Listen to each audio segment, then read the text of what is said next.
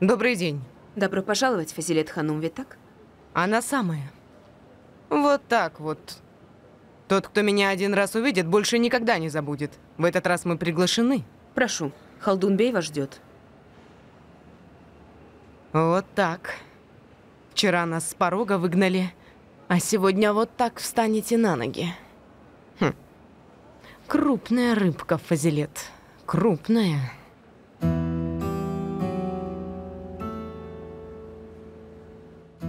Прошу? Халдунбей, так ведь? Прошу, проходите, госпожа. Халдунбей. Пока будем ждать вашу дочь, что вам предложить? А, не нужно ничего. Скажу с самого начала. Я пришла сюда поговорить не как мать дочери, а как ее менеджер.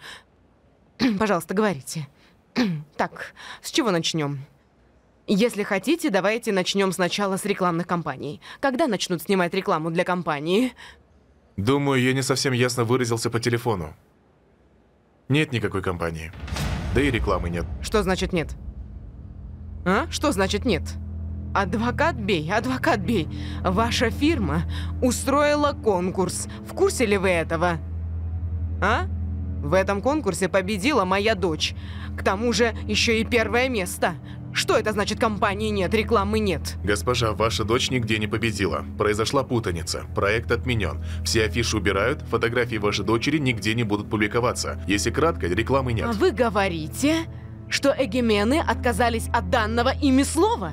А, тогда вот что я скажу. Моя дочь даже не участвовала в этом конкурсе. Она даже не знала, что ее сфотографировали.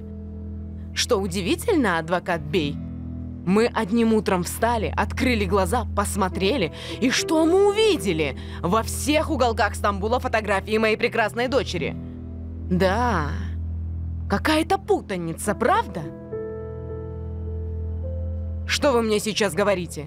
Весь Стамбул покрыт фотографиями вашей дочери. Все увидели красоту вашей дочери. А теперь мы передумали. Произошла путаница, извините. Вы так говорите, да? Так? Так говорите? Госпожа... Раз вы так говорите, тогда это дело пойдет по другому руслу. Даже если мы безродные, мы не раздавленные, господин адвокат. Не раздавленные. И найдем себе тоже адвоката и будем добиваться. Госпожа, давайте я вас не буду больше утомлять. Постараюсь еще раз дозвониться до Хазан Ханум. Наше дело конкретно с ней. Пусть ваша дочь поставит подпись, подтверждающую передачу прав. Если понадобится, мы с вами снова сядем и поговорим. Адвокат Бей. Я пришла сюда не для того, чтобы передать права. Я пришла, чтобы их вернуть.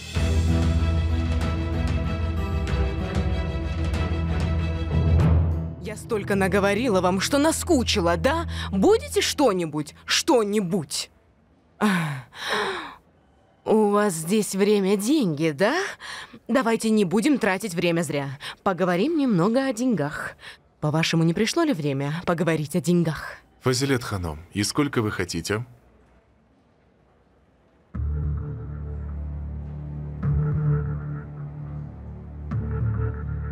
Один миллион.